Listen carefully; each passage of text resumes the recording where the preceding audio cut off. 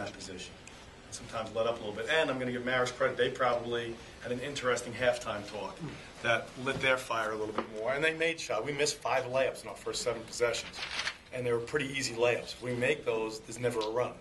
So even though they came out making shots, had we just made our layups, wasn't even jump shots, that never, run would never have happened. Good questions for the students so we can get them downstairs. Scott, when you go up against a young team like this, you, you, you guys scored for like the first eight points or so, and you really set the tone.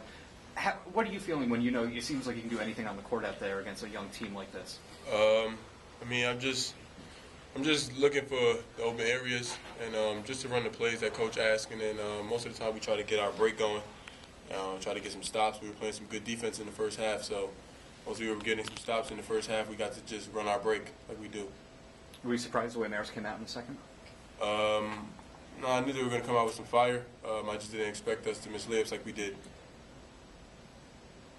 Mike, you had 31 on the game. You were very consistent under the basket today. What were your thoughts about uh, your your game tonight?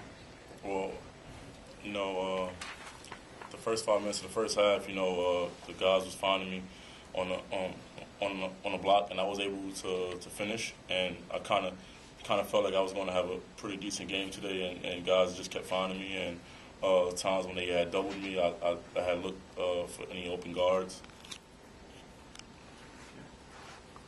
Matt, when you came in, you were, you were hot. You, you had the five three pointers in the first half. What was your thought when you got in? You made your first shot.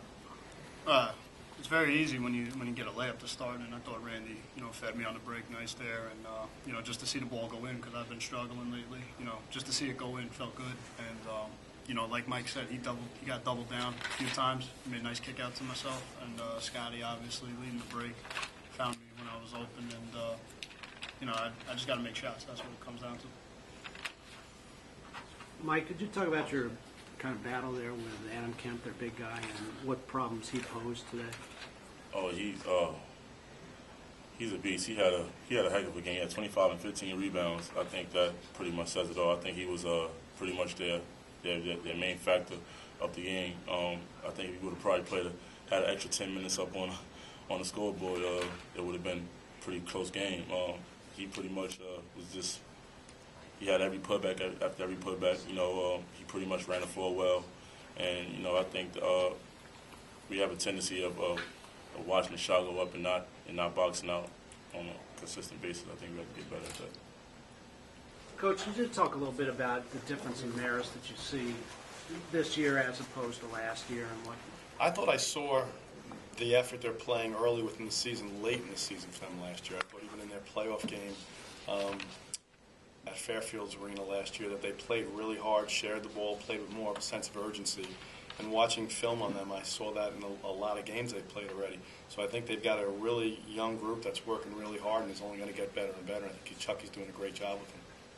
You know, the, the 100 points speak for themselves, but the way you guys played on defense, particularly there in that second half where you didn't let the rally get too far ahead of you, how happy were you with the defensive effort? I was happy late in the second half, not for the first eight to ten minutes. I thought we just made it too easy. Uh, I thought we picked up our defense and did a little better job of, you know, doubling down on Kemp rather than watching him as the game went on. I thought it was a nice adjustment by them to throw the ball inside and try to get him involved to start the second half and see what we would do. So I thought they, they made a good move. It took our guys a while, and I thought we adjusted to it. Coach, first half seemed like your defense was setting up some of the fast breaks. Really had a nice setup to Jones and then to Glover. Uh, how did you feel about your defense today? I, liked it. I think we got committed too many fouls in the first half, and that's kind of why we, we backed off a little in the second half. We had so many guys in foul trouble, and we're a little bit more half court defensive oriented in the second half, or, or token pressure, not real pressure going after it. I think we're a better team when we can up tempo on both ends of the floor, but we did have to be careful because I think we had three or four guys with two fouls apiece, and I didn't want to play the second half that way. Coach, you've had three strong games since the Hofstra game. How do you, how do you feel you've uh, uh, the team is playing now after you got past the road trips? I thought we played very well in Siena. I thought we played decently at the second half in Niagara.